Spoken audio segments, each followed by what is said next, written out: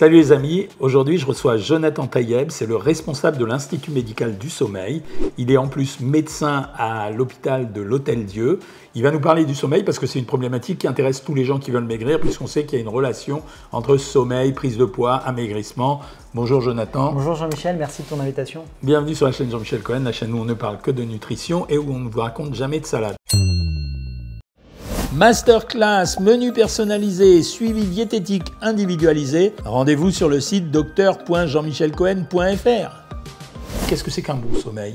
Un bon sommeil, c'est déjà un sommeil sans plainte. On ne se réveille pas la nuit, on ne met pas plusieurs heures à s'endormir, plusieurs minutes, et on se réveille le matin avec une sensation de sommeil réparateur. Réparateur sur le plan physique, sans fatigue musculaire, et réparateur aussi sur le plan psychique, prêt à affronter la journée avec de nouvelles émotions. Donc si j'ai un bon sommeil, je suis bien dans mon corps, bien dans ma tête, bien dans ma peau. Oui, on sait que le sommeil a un rôle important dans la reconstruction de son être profond sur le plan physique et sur le plan psychique. Alors tu m'as bien expliqué qu'on était aujourd'hui dans une épidémie de dette de sommeil. On est passé de 8 heures de sommeil au 19e siècle à 6h30 de sommeil aujourd'hui. La faute finalement à l'arrivée de la lumière artificielle qui a fait qu'elle euh, s'est invitée dans nos maisons, dans nos rues, dans nos bureaux. On travaille de plus en plus tôt, on finit de plus en plus tard nos journées, on va souvent euh, au café. Et puis le soir, bah, ça grignote notre temps de sommeil. Donc on est dans un monde quand même où le sommeil est malmené. C'est vrai que sur Internet, on voit souvent circuler, il faut dormir 8 heures pour être en pleine forme. C'est faux. En fait, il y a des gens qui ont besoin de 6 heures, d'autres qui ont besoin de 8 heures. Il faut avoir la sensation de sommeil réparateur. On se sent réparé sur le plan physique, réparé sur le plan psychique. On est prêt à affronter la journée avec des émotions. Je ne sais pas si tu as cette sensation, Jean-Michel, tu peux être contrarié un soir euh, euh, par euh, une problématique. Le lendemain, tu te réveilles, tu es un peu moins contrarié par ce qui t'a contrarié. Parce que le sommeil est passé par là, c'est aussi ça, c'est la dilution des émotions.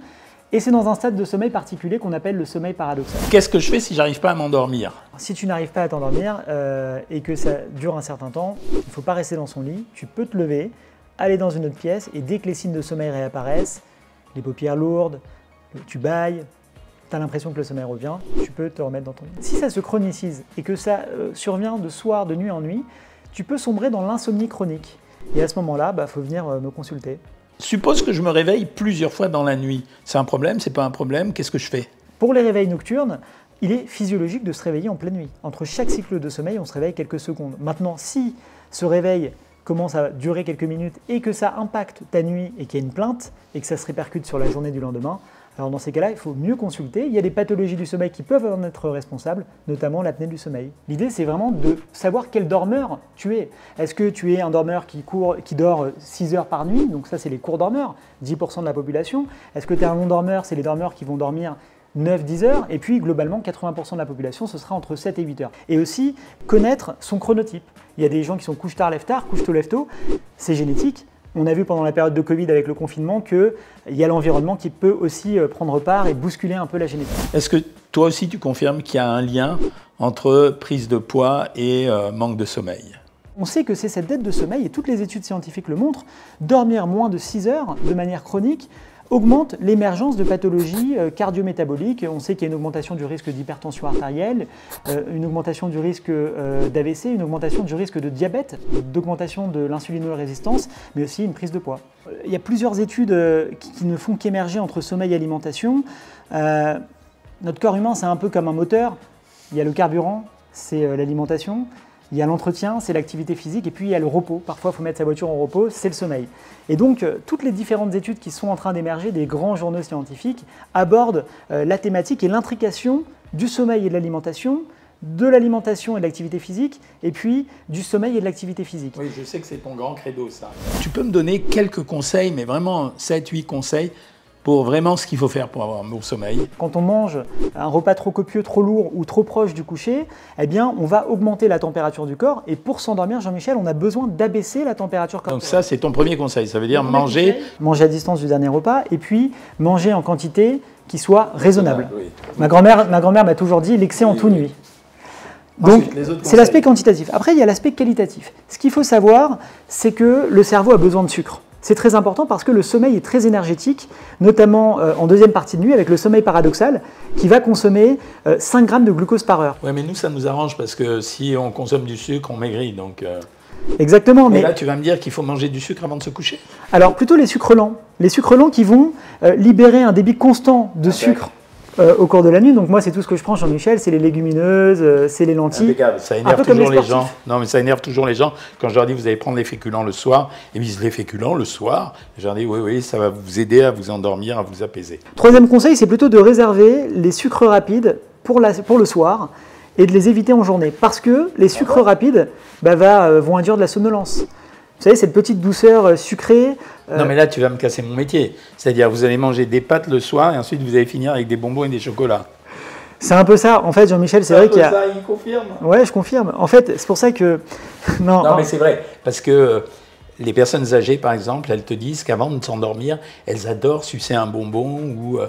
prendre quelque chose avec du miel, tu vois. Donc c'est un peu vrai, ça confirme. Moi, c'est un peu ça. Avant, quand j'étais petit, je prenais un verre de lait. Et puis là, maintenant, je prends un petit carreau de chocolat. Alors, je sais qu'il y a un petit peu de caféine dans le, dans le carreau de chocolat. Mais euh, ce carreau de chocolat, Jean-Michel, c'est ma petite douceur psychologique. Ok, je te laisse kiffer.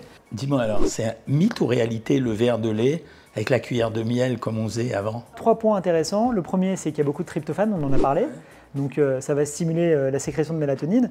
Le deuxième point, c'est que le verre de lait, il faut qu'il soit chaud parce que, les, parce que ça refroidit le corps par les échanges thermiques. Et enfin, le dernier, bah, c'est tout, ça rassure, c'est une douceur psychologique.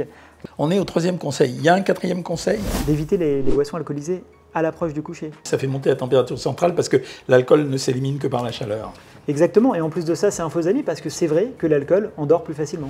De limiter tout ce qui va être excitant. Et quand je parle d'excitant, je parle de caféine, mais je parle aussi de nicotine à l'approche du coucher parce qu'on sait que ça rend le sommeil moins profond, plus léger et ça peut entraîner euh, une altération de la qualité euh, du sommeil. Ah merde, moi je prends toujours des petites pastilles de nicotine parce que j'ai arrêté de fumer, mais c'est de la nicotine. Ok, c'est un super conseil, je vais arrêter moi. Sixième conseil, Jean-Michel, incorporer des aliments riches en tryptophane. Le tryptophane, Jean-Michel, c'est vachement intéressant parce que euh, c'est un acide aminé qui n'est pas sécrété par le corps humain, qui est apporté par l'alimentation, qui va avoir la spécificité de passer la barrière du cerveau en 30 minutes. Ça va se transformer en 5-hydroxytryptophane. Le 5-hydroxytryptophane c'est la sérotonine. La sérotonine se transforme en mélatonine, c'est l'hormone de sommeil. Voilà, donc c'est quand vous mangez du tryptophane, en fait, ça vous permet de sécréter de la mélatonine, ça vous évite même d'en acheter en pharmacie. C'est essentiellement le fromage, les viandes et les œufs, les poissons et les crustacés, les céréales et les légumineuses et également les graines oléagineuses. Assez curieusement, c'est le poulet rôti avec la peau qui est en premier. Ensuite, vous avez les graines de sésame.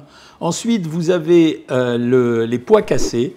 Ensuite, vous avez la morue. Bon, on n'en mange pas tous les jours. Et ensuite, vous avez le parmesan. Ça, c'est facile à manger parce qu'il vient de vous dire tout à l'heure qu'il fallait manger des pâtes le soir. Les pâtes avec du parmesan, c'est super bon. Surtout que vous avez un bon bec après, tel qu'il vous l'a dit. Les aliments à éviter, d'après toi, c'est les excitants, tu m'as dit Alors, les excitants, euh, mais les Café, thé, alcool. Café, thé, alcool. Peut-être privilégier, si vous avez envie d'une boisson colorée, plutôt une tisane, parce qu'il va avoir euh, l'effet de déchange thermique. Quand on prend une boisson chaude, on refroidit son corps et on sait que c'est en refroidissant son corps on favorise l'endormissement. En plus de ça, euh, l'effet des plantes, donc il y a de la camomille, de la fleur d'oranger, ça détend toujours et ça fait aussi un petit rituel de coucher. Est-ce que les médicaments pour dormir, ça sert à quelque chose? Les gens prennent en général, alors du plus simple au plus léger, il y a le Donormil, la mélatonine, il y a les, trucs très puissants, la Roxy, les hypnotiques, euh, l'Imovan, etc.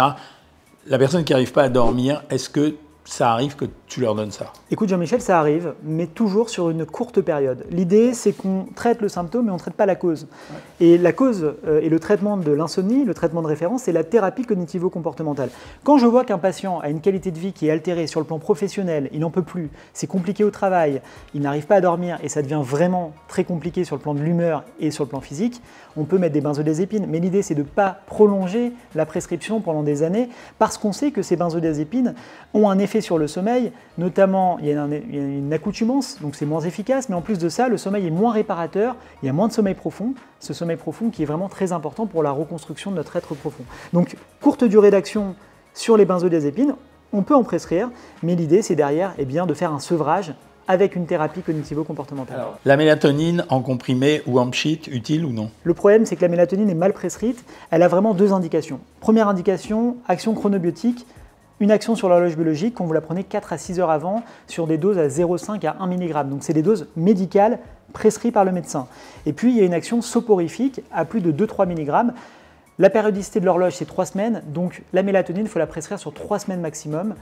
Et les sprays ne marchent pas. À ce moment-là, il faut la prendre 4 à 6 heures avant. 4 à 6 et heures avant. prendre vraiment une toute petite quantité, c'est-à-dire la moitié d'un comprimé ou un quart de comprimé. Exactement, c'est les recommandations de la Société française de recherche en Pas médecine mal, du sommeil. intéressant là. Le problème, c'est qu'effectivement, en pharmacie, ben, on vous vend plein de produits avec plein de mélatonine qui sont souvent combinés, qui n'est pas de la mélatonine pure. Et il y a un effet placebo, certes, mais au long cours, euh, bah, vaut mieux éviter. Un mot quand même sur l'apnée du sommeil qui est à mettre relativement à part. Oui, Jean-Michel, c'est une pathologie qui est très fréquente, qui touche 10% de la population mondiale, un peu comme l'hypertension artérielle, et euh, dont le facteur principal euh, va être le surpoids. 70% des patients, euh, des patients qui ont de l'apnée du sommeil ont du surpoids. Dans 30% des cas, ça peut être simplement la morphologie des voies ORL.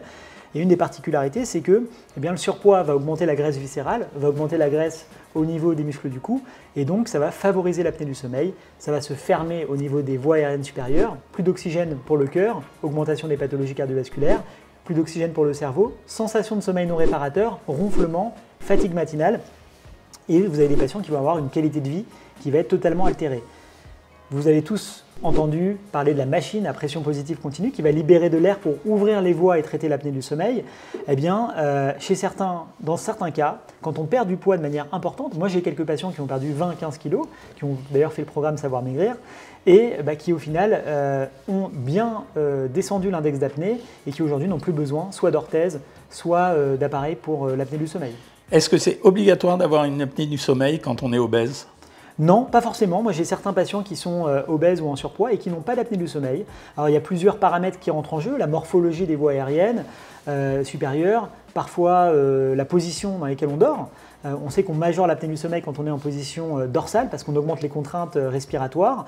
Mais j'ai des patients effectivement qui sont obèses et qui ne font pas d'apnée du sommeil. Quand on fait maigrir quelqu'un qui est obèse et qui a une apnée du sommeil, est-ce qu'on guérit à chaque fois l'apnée du sommeil? Pas, pas toujours, pas toujours. D'ailleurs, on fait souvent une polysomnographie ou une polygraphie après une perte de poids qui doit être durable parce que souvent j'ai des patients qui perdent 20 kg, je les revois deux ans plus tard au cabinet avec euh, 30 kg de plus, l'apnée est toujours là, mais effectivement ça dépend. J'ai des patients qui passent de 40 apnées par heure à moins de 5 et donc on n'a plus besoin de traitement et d'autres qui vont euh, rester à 20, 25, 30 et qui parfois nécessitent toujours un traitement. On va remercier euh, Jonathan. Je rappelle qu'il est euh, le président ou le directeur de l'Institut médical du sommeil, qui travaille elle-même avec l'Institut national du sommeil. Donc vous avez tous les conseils pour le sommeil. Donc merci beaucoup Jonathan. Jean-Michel de ton invitation. J'espère que vous avez aimé cette vidéo. Vous la likez, vous la partagez, vous vous abonnez, vous faites des commentaires, voire des critiques si vous avez besoin. Vous me donnez des idées ou des suggestions de vidéos. Et je vous dis à bientôt les amis.